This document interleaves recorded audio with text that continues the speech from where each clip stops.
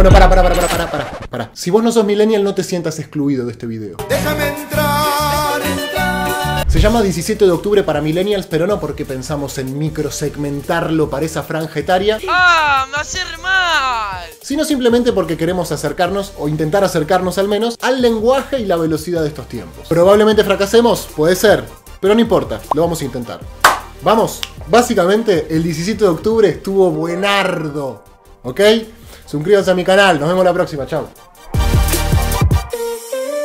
No, eh, mentira, no, es un chiste. Es un chiste, perdón. Bueno, 17 de octubre, fecha fundamental para la historia argentina, para la historia latinoamericana y para la historia universal. ¿No será mucho? No, no es mucho, porque fíjate que ese día, 17 de octubre de 1945, nació el peronismo.